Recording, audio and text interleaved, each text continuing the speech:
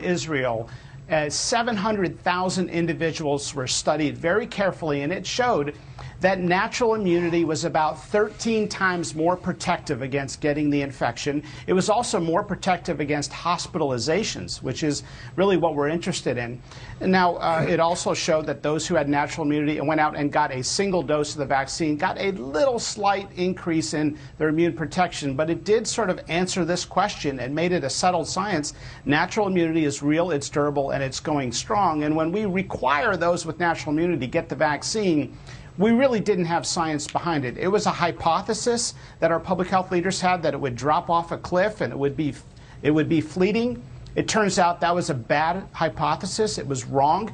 And as a result, tens of thousands of Americans died over the spring because we rationed our vaccine supply accordingly. We should have had those with natural immunity step aside as we get more vulnerable people vaccinated.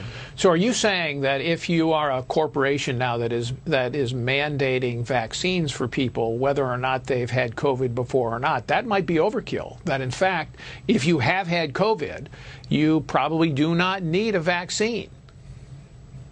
That's exactly right. So if a corporation or a university is truly following this science, they would do what we do in science and evolve our strategy as the data come in. This data is overwhelming, it's conclusive, it's a large, uh, sophisticated study, and it clearly shows that those with natural immunity do not have to get a vaccine. They may benefit slightly from one additional dose, but it should not be a requirement for those already immune. By the way, those with chickenpox, are told by the CDC if you had it in the past, you should not get the chickenpox or varicella vaccine. It's the same immune system. It should be the same guidance.